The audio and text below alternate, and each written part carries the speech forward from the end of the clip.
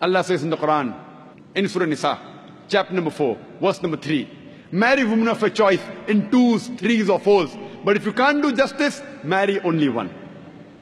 Quran says, marry women of your choice in twos, threes, or fours. But if you can't do justice, marry only one. That means only if you can do justice can you marry two, three, or four. Otherwise, marry only one. Quran also says in Surah Nisa chapter 4 verse 129, it is difficult to be just between your wives. But don't turn away from them altogether. Many people think it is compulsory in Islam that you should have four wives. It is not compulsory in Islam to have four wives. It is optional.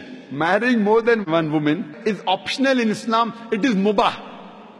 But if you marry more than one woman, and if you don't do justice, then you're in problem. So if you marry more than one woman, you should be able to do justice between them.